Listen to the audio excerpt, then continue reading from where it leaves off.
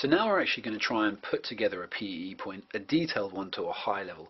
And like I said, we're looking at the writer's intention, we're looking at things like uh, social historical context, link to lit, link to other literature, audience, reaction, etc. and language analysis. So we'll look at a couple of these in this one.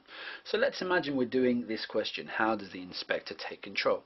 So I'm going to start with, I'm going to imagine that I'm halfway through my essay or maybe three quarters of the way through my essay. So I'm going to start with Another way the inspector has shown his control is in the influence he has over Sheila and Eric. And that's my point, clearly demarked. Now I need some evidence, so I'm going to put that in here. This is obvious when Sheila says, the point is, you don't seem to have learned anything. And this is the discussion that the young Birlings are having with the elder Birlings after the inspector has left, or just around that time. Now I'm going to start explaining this. This and this together probably get me a low D. I can make a point and actually can support it with evidence. However, I haven't explained it. Now I need to start doing this and I'm going to pick out the points from the top here and show me using them time as sorry as they go through. So first of all I need to tie it together. From this the inspector's influence is evident. She has turned, he has turned Sheila from a young materialistic girl to someone who's going to stand up against her parents and their narrow-minded selfish capitalist ways. So I've summed up my explanation there and that should get me a low C just from my understanding. Now I actually need to start tying it in. So first of all what could the writer's intention be? So this is in my eh, explanation and I keep developing it.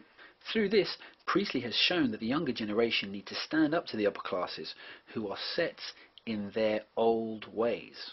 And this would be a universal message coming from both young in the upper class and young of the working class. It needs to be stood, up to.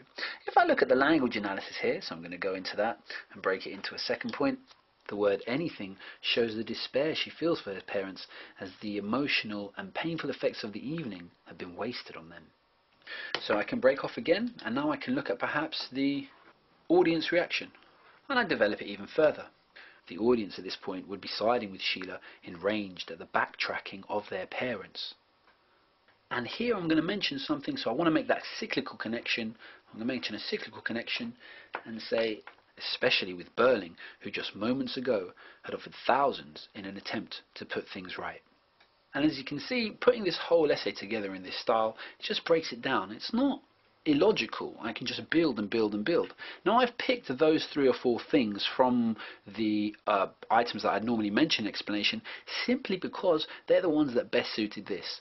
There's no point trying to write every single one for every single PEE point because you'll be repeating yourself often and moreover you're going to lose the ability to become concise.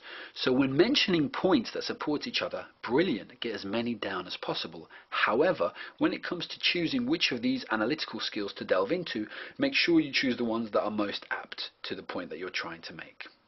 We'll go into another example now and the next video for Of Mice and Men.